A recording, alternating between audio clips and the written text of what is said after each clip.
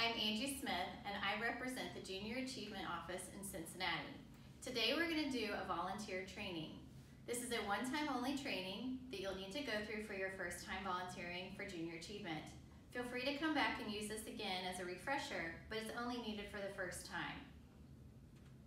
Junior Achievement is a for impact organization, meaning we teach children how to be career ready, about entrepreneurship, and about financial literacy. In our area, we cover about 40 to 45,000 students per year. In the United States, 4.8 million participate in our programs, and then globally, we have 5 million students. The class model. If you're teaching a program that's within the elementary, it's kindergarten through fifth grade, there are five sessions each session being about 45 minutes each, with the exception of kindergarten, which is only 30 minutes. If you're teaching in middle school, it is six to seven program, or I'm sorry, sessions, and then high school is five to seven sessions, depending on the program. Each program is a little different. The volunteer role, that's you.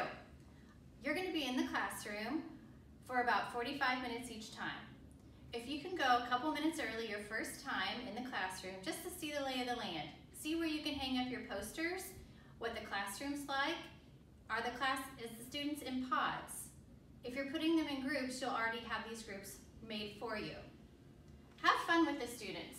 Be prepared and punctual. Be committed. If you're not able to make your program anymore, please let your junior achievement person know and your teacher. That way we can find another volunteer for them. If you need to cancel for a day for whatever reason, please have your teacher's contact information, which will be sent to you by your JA person, or if you are in your child's class, you already have the teacher's information. The teacher role. The teacher will always be in the classroom with you. Use them as a resource. If there are already behavior issues, which usually is just the students being so excited to see you, they don't know how to calm down, let the teacher take care of this. They often have a way to get their teacher, their students focus right back with claps, chants, or any type of routine that they've already embedded into their students' minds. So please use them. Also, if you're putting students in groups, use them as a resource. They know who works well together, and more importantly, who doesn't work well together. So allowing them to help you put groups together will make your activity run smoother. Student characteristics. Know what kind of students you're gonna have in your classroom. There's a lot of difference between a kindergartner and a fourth grader. So know what kind of things may get their attention and how to be more engaging with them. Digital assets. Some of our kits, you will see it mention digital assets. This is basically the same stuff that's in your kit, but just available for you to put up on the screen. So don't feel like you're missing anything if you can't get it to come up or if you are not able to sign in. It's just the same poster that you already have or a handout that you already have in your kit, just available for you to put up on a screen if you'd like to. Classroom management and teaching techniques. This is a lot of information, but a couple that I like to highlight are use examples from the students' communities. Something that they're gonna see when they're out in their communities with their families on the weekends or in the evenings.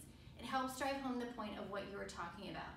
If you use a community that is 15 to 20 minutes away from where your students are, your students may not know what you're talking about. If you try to use downtown Cincinnati and maybe you are not anywhere near that location, they may not be able to quite grasp what you're talking about. Also, if you're using examples about how you're going to spend money or what a need and a want is, use something that the students might like for that age group.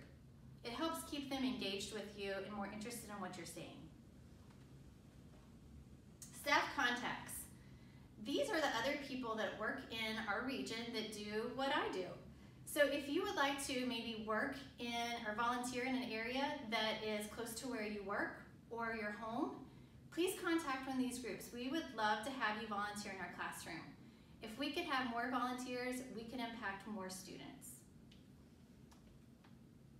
This is your checklist of things that uh, we would like you to do so we can count your time and your students participating in the program. First of all is your volunteer conduct standards form, which just basically captures your information, your contact information. We have to have that each school year. You can do that paper form or you can do that through a link that is in this file that'll be sent to you. Contact the teacher. Let them know that you've been trained, you have your materials, and you're ready to go. This will allow you guys to set up a time to be in the classroom. Now what we typically recommend is that you do it once a week for five to seven weeks, depending on how long your program is. We understand that there's snow days, sickness, and things that just come up. So that allows you to move things around if needed. If you want to do it in a shorter amount of time, twice a week, and get it done in two and a half weeks, that's fine as well. You can even do it once a day for a week. It's whatever your schedule allows and what will work for the teacher's curriculum as well. All that we ask is that you don't set it up where you're doing it once every other week because then that could take 10 to 15 weeks to complete and that's just so much time to ask of anybody's schedule and the students start to forget what you talked about on your first visit. Things to ask the teacher is how many students are in your class. All of our kits come with materials for 30 students. That's pretty typical and usually you have a couple of extras left over. Are there any students with any kind of special needs? If you have a student that has mobility issues, if you're doing an activity that asks them to move around the room, you may want to rethink how you could do that activity to kind of help the student participate. How does the teacher encourage orderly contact do, or participation? Do they raise hands? Um, or can they, they ask questions out loud? You'll kind of get the feel of that when you first go in the classroom. And where to hang your visual aids. Many classes nowadays have smart boards. So please ask your teacher where they would like the posters to be hung before putting stuff up on the smart boards. We don't want anything to be damaged. All right, at the very end of your program, there are certificates of achievement. And I would highly recommend this for kindergarten through fifth grade. I think six through 12 probably don't value it as much, but it's really good for the kindergarten through fifth grade. And you can give this to the teacher your fourth or even the fifth time that you're there and have them fill it out. It has student's name, the school, your name, teacher's name, and the date. So I often recommend volunteers to save just five minutes at the end of their last session and have the students come up, get their certificate of uh, participation, and do a little bit of a handshaking talk about the proper ways to handshake and get, give out the certificate. It's a great warm fuzzy feeling to end your program and I highly recommend it. Now when you're completely finished, you will be getting an email from Junior Achievement. We're asking for three pieces of information and it'll be there in the email so you don't have to remember this. But here's what we're looking for. We're looking for, did you finish all of your sessions? How many students were in the class? And what was the date of your last session. With those three pieces of information, we're able to count the students as participating in our programs and counting your time as being a volunteer with us. This allows us to be able to go back to our donors and say, this is what we did with our money that you gave us. All of our money is given to us by grants, corporations, and individual donors. The schools do not pay for the programs. So to do this, we have to have volunteers to be in, the classroom. And that's where you come in, and that's where we really appreciate your time and your effort to impact your local community. Thank you. And more importantly, have fun with it. Being in the classroom can be a great time and allows you to interact with the students, maybe even your own student, and see the great things that happen in our classrooms. All right, now you have your materials, you have your kit, and you're ready to go. It should look something similar to this, and we'll have everything that you need for your program, up to 30 students. Now, if you would open up your kit, in the front and in the back, there is a book that says Guide for Volunteers and Teachers. There's two of those. Again, one in the front, one in the back. If you would please get that out and turn to around page seven. you're gonna see a list of materials that are in your kit. Please look through this and make sure that you have everything that it has listed in your kit. Every once in a while, there'll be something missing. It's very rare, but we wanna have plenty of time to get that to you if you find that you're missing anything. If you turn the page, you'll see session one. Now, no matter what program you're doing, kindergarten through seniors, you're gonna have this same layout. It's gonna have overview, objections, and preparation. Now, a couple of nights before I go into the classroom, I'll sit down with the book and read the session front to end. This is your book. You can highlight in it, you can write notes in it, whatever you would like to do to make you feel like you are more prepared and comfortable to talk with the students. You'll see a list of the materials that you're gonna need for your kit. If you would, before you go into the classroom, pull everything out of your kit and put it all in session order. At the bottom of each corner, either on the front or on the back of the materials, it will tell you exactly what you're holding and what session you use it in. So this is the Certificate for Achievement used in session five. Please pull everything out of your kit when you have a moment and put it all in session order. Session one, session two, and work your way down the table. That way, you know when you pick up that pile for session one, you put it in your plastic kit, and you know that you have everything needed for that day. It allows a more smooth transition once you get in the classroom and start getting your materials out and ready to go.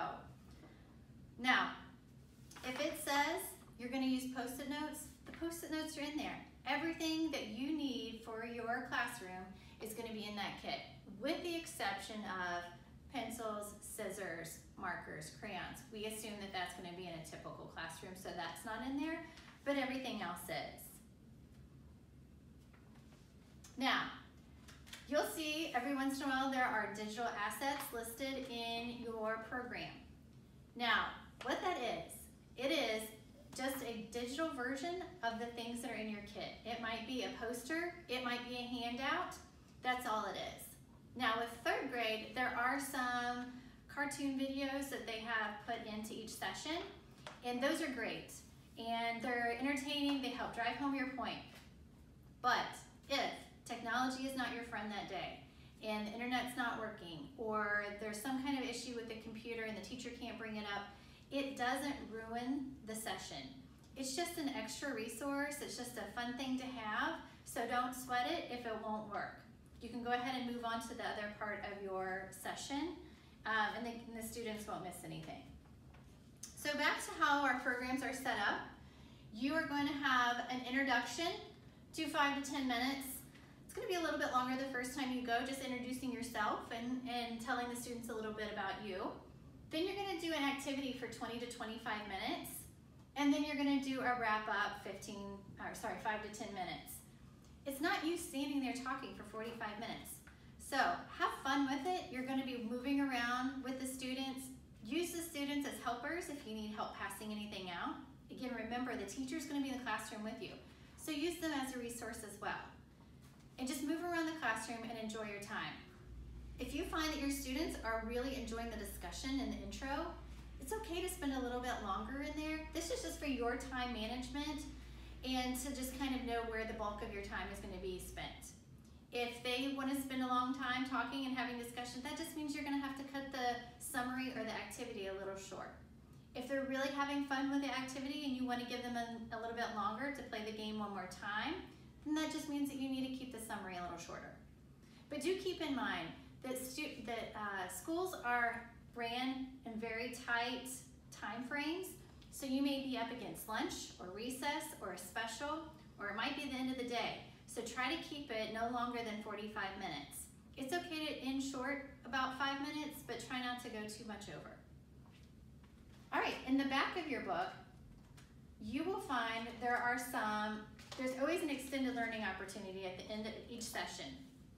This is just something, it's just an extra resource. If you have a teacher that says, this is great discussion, I would love to continue it, you can recommend the extended learning opportunity. You don't have to use it if you don't want to, it's just there. We like to give our volunteers as much resources as we can. Also, depending on what program you're teaching, there can be some answer keys in the very back of your book. There could be a map. Um, there could be a budgeting sheet that you can make extra copies of if you needed to, or if you wanted to pre-fill it out. And that way you could show the class what it was gonna look like. There's always a glossary as well. So hopefully you find everything that's needed in your kit. And if you find that you are short on any of the materials, please let your JA rep know as soon as possible so we can get you those materials before you go in the classroom. Thank you for volunteering.